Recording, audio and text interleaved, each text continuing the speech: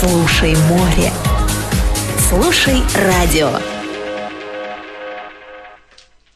Доброго дня, я Юлія Гончар, ведуча програми онлайн подій у третьому секторі Інституту розвитку креативних технологій та масомедіа. І ми продовжимо гендерну дискусію, гендерні стереотипи за і проти у прямому ефірі. Сьогодні я рада вітати в ефірі випускового редактора Анну Кохан. Вітаю, Аня. Город Євпаторія, Інститут розвитку креативних технологій і мас-медіа. Дякую, пану, пані Ірину Таран. Е, доброго дня, громадська організація жіночої ініціативи місто Порятин Полтавщина. Дуже дякую, пана Володимира. Е, добрий день, общественная организация Агентства экономического развития, город Вознесенск, Николаевская область. Дякую, Ан- пана Андрія. Скажіть, будь ласка, кілька слів про себе. Ведущий Андрей, експерт по правам человека, плюс э, Страсбург. И, если позволите, также хочу напомнить, что работаем при поддержке общественной организации «Томатики Угу, дуже дякую. Е, і е, з нами також перший день приєднався Борис Кудар. Скажіть, будь ласка, теж кілька слів про себе. Вітаю, я Борис Кудар, учбово-методичний центр захисту прав людини, місто Миколаїв. Дуже дякую. Отже, ми продовжуємо говорити про гендерні стереотипи. Нагадую, що це можуть бути такі спрощені, стандартизовані, стійкі уявлення, які сформувалися. І ми говоримо про те, чи це міфи, чи справді вони мають право на існування. Говоримо про свій життєвий досвід і так далі. І я пропоную сьогодні поговорити про таку тезу: родина головне призначення жінки. Отже, чи справді родина це головне призначення жінки? Хто має які думки з приводу? А, якщо, якщо дозволите, я сразу Поэтому, так, будь ласка. Значит, я скажу. А. Если мы говорим, что женщина это ее главное, ее главное назначение э, я, угу. э, в случае э, мы говорим о том, что идет речь о нарушении прав человека, потому что человек имеет право на свободное выражение, свободные действия, и если мы конкретно ее ставим в рамки, что вот она должна заниматься семьей, и не будет, мы говорим, это можно уже смело говорить о том, что идет нарушение гендерного равенства. Угу. А, а, недавно Владимир говорил о том, что многие работодатели не хотят брать молодых девушек, потому что они могут забеременеть, и это может нанести какой-то ущерб финансовый предприятию. А если так каждый работодатель будет думать, то у нас в Украине просто снизится рождаемость, которая и так на низком уровне. Согласен. Но это вот изменение нужно, мне кажется, делать все-таки это хорошая работа, я согласен с Андреем и с Юлей. Тут нужно им изменять именно в головах. Вот я как работодатель, если говорить со стороны работодателя, его аргументы тут ну, безукоризны, да, у него уменьшается прибыль, финансовый этот, то есть э, финансовый результат организации. Но, э, значит, надо ставить на первое место не финансовые результаты организации, нужно ставить человеческие, вот такие, ну, что женщина, этот человек, это она имеет право, она должна. То есть, ну, это, мне кажется, все-таки нужно менять э, в уме, да, у человека эти изменения у нас в Украине должны происходить. И мне кажется, это должен пройти определенный период времени, да, к тому, чтобы, ну, мы, чтобы мы дошли до того, как вот во Франции, э, до тех порядков. Но здесь, мне кажется, это просто э, нужно работать, да, в этом направлении. И, и я думаю, что через лет так 5-10 мы увидим результаты на лицо. Ваше мнение? Так, дякую. Пані Ірино, що скажете?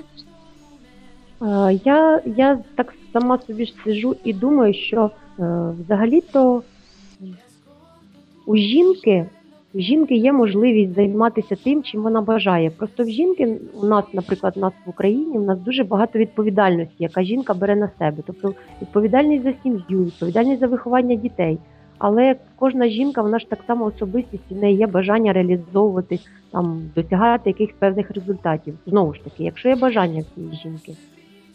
Ем, якесь у мене таке, знаєте, якесь двояке відчуття, тому що зараз я думаю про себе і дивлюсь поряд, от, наприклад, поряд, е, яка кількість жінок, наприклад, займає керівні посади. То я зразу бачу, що жінки, вибачте, на керівних посадах не знаходяться. Це чудово. Наступна передача цьому, буде про керівні посади. Та, і в цьому, да, і в цьому знову ж таки, яка ж проблема є, чи це вже гендерні якісь знову ж таки стереотипи. чи Ага. це небажання брати жінку, тому що вона бо в неї на першому місці все ж таки йде діти і її родина. Так, дякую. Ну, те, що на першому місці чи не на першому, це ще ми про це поговоримо. Будь ласка, пане Борисе і пан Валерій, хотів вас теж почути. Пане Борисе. Так, е, гендерні питання це е, дуже важливі, але я наведу такий е, приклад, що кажуть, що е, кораблем у сім'ї, у суспільстві пра- управляють чоловіки. Але ці, цей корабль, сімейний корабль суспільства, інколи знаходиться на долоні у жінки, тому що жінка, як правило, управляє цим чоловіком, який має владу Правильно, і, правильно ви і впливає на нас. Дякую. Дякую. І до нас приєднався Валерій Панько. Я хочу надати йому слово, щоб він сказав кілька слів про себе і одразу свою думку, якщо дозволите, колеги. Будь ласка, пане Валерій. Е, Вітаю всіх. Е, Якщо коротко, то от щодо ролі жінки, е, родини, е, на мій погляд, е, найголовніше призначення жінки це родинне, е, родинний вогонь. Е, Вогонь завжди е, знаменувався як е, любов. Тобто, е, той вогонь, до якого приходять, е, приходять е, там чоловік, приходять діти, які гріються біля цього вогню. Це найголовніше. А те, що Е, Ким є жінка, чи вона керівник підприємства, чи вона народний депутат, чи вона просто прибиральниця, чи маляр, чи кухар, на мій погляд, абсолютно не грає будь-якої ролі. І е, більш того, оці гендерні питання щодо того, скільки жінок має бути там чи там, а скільки чоловік має бути, чоловіків має бути там чи там, це абсолютно е, привнесені, е, ну, з, мабуть, з якоюсь певною метою питання, щоб відволікти увагу. Дякую за вашу думку. Угу. Дякую, пане Ва- Валерій. Валерій, а хто дрова буде підкидати, щоб, щоб горів вогонь, скажіть?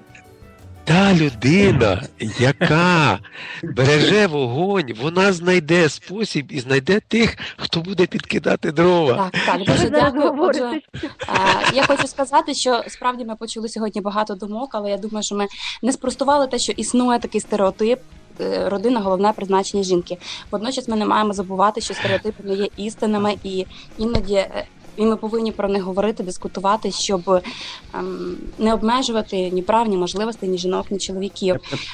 В- Україні, якщо дозволите, скажу таки так, закінчу свою думку, що в Україні жінки переважно оцінюються і успішність е, за господарськими вміннями, ну так стереотипно, за наявністю сімей, дітей, а чоловіків за професійними успіхами. Але і жінки, і чоловіки вони мають бути рівні в цьому питанні. І якщо чоловік хоче реалізовуватися вдома, і якщо він гарний господар і хоче куховарити, то ніхто не має права обмежити його у цій реалізації. І якщо жінка хоче працювати, навіть якщо вона не хоче мати сім'ї чи не може мати сім'ї, то це також не обмежує її успіху в цьому житті. Ем, Я вважаю, що е, це питання потребує ще ну, дуже глибокого вивчення і обговорення. Чотири хвилини на день батько, батько приділяє середньостатистичній Україні вихованню дітей, і це є страшно, навіть якщо він виправдовується тим, що родина повинна перейматися мати, він обділяє свою дитину. Потім все-таки часто жінки е, самі формують таку ситуацію, коли. Будучи молодими, вони беруть на себе всі домашні обов'язки. Будемо ще про це говорити. Я дуже дякую. Це була е, програма онлайн події у третьому секторі Інституту розвитку креативних технологій та мас-медіа. З вами була я, Юлія Гончар, місто Черкаси, організація Славі, а також Анна Кохан, е, пан Володимир, пан Андрій, пан Валерій Панько, Ірина та. Слушай море. Слушай радио.